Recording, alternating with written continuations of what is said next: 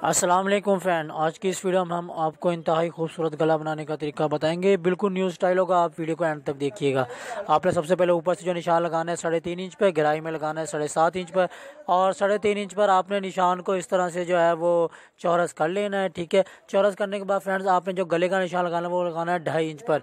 ढाई इंच पर गले का निशान लगाने के बाद फ्रेंड्स आपने जो है इस निशान को सीधा कर लेना है। सीधा करने के बाद फ्रेंड्स आपने इसको यहाँ पर कट कर लेना है। इसको अच्छे तरीके से आप जो है वो कटिंग कर लें। कटिंग करने के बाद फिर हमने लिया हुआ तकरीब, ये पीस तकरीबन तीन, पौने तीन इंच लंबाई में और पौने तीन इंच चौड़ाई में आपने इसको इस तरह क्रॉस करके इसको निशान के बराबर कटिंग कर लेना है। ठीक है कटिंग करने के बाद फ्रेंड्स यहाँ इसके ऊपर रखकर आपने बॉल पॉइंट के बिल्कुल साथ साथ जो है वो निशान लगाने हैं। इस तरह सेंटर में लगाना है और खोल कर आपने इसको यहाँ पर लगाना है। बंद करके आपने सेंटर में लगाना है और खोल के आपने इसके ऊपर लगाना है। अब इसको निशान के तकरीबन पैर पैर का फालतू दबाव छोड़कर आप इसको कटिंग कर लें।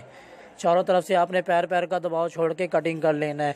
बहुत ज़बरदस्त वीडियो होने वाली है। आप वीडियो को लास्ट तक देखिएगा। उम्मीद है कि आपको एक गिला पसंद आएगा। अगर आपको मेरी वीडियो अच्छी लगे तो मेरे चैनल को सब्सक्राइब कर लें और ज़्यादा से ज़्यादा मेरी वीडियो को अपने जानने वालों में, दोस्तों में, रिश्तेदारों में जो है वो शेयर कीजिएगा।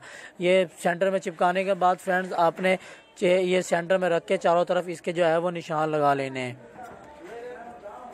ये हम निशान इसलिए लगा रहे हैं ताकि हम पीस वगैरह पलटा सकें। आपने पीस को सीधी साइड पर रख कर इसके चारों तरफ़ जो है वो सिलाई लगा लेनी है। हम ट्राउज़र का पीस दिखा रहे हैं, पीस को आपने सीधी साइड पर रख के इसके चारों तरफ़ सिलाई लगा देनी है। बहुत ज़बरदस्त ये वीडियो गला बन जाएगा। उम्मीद है कि आपको मेरा गला पसंद आएगा। अगर आपको मेरी वीडियो अच्छी लगे तो मेरे चैनल को सब्सक्राइब कर लें और ज़्यादा से ज़्यादा मेरी वीडियो को अपने जानने वालों में, दोस्तों में, रिश्तेदारों में जो है वो शेयर कीजिएगा। निशान के ऊपर आप सिलाई लगा लें ताकि बुकरम वगैरह हमारी ना उखड़े सिलाई लाजमी लगा लिया करें ताकि बुकरम वगैरह हमारी ना निकले। बुकरम निकलने से जो है गला ख़राब हो जाता है। आपने सिलाई वगैरह लगा कर अपनी बुकरम को जो है कंप्लीट कर लें। चारों तरफ़ जहाँ जहाँ हमने निशान लगाया है, वहाँ सारे आपने जो है सिलाई लगा लेनी है मुकम्मल तौर पर मुकम्मल तौर पर आप इसकी सिलाई लगा कर गले को कंप्लीट कर लें। अब गए, अब हमने जो लिया हुआ एक पीस ट्राउज़र के साथ का।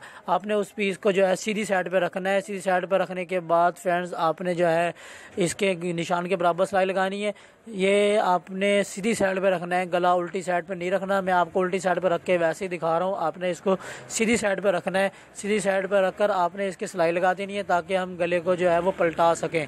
अच्छे तरीके से जो है वो पलटा सकें। सीधे साइड पे रखने के बाद फ्रेंड्स, आपने जो है यहाँ पर इसके जो है सिलाई लगा देनी है।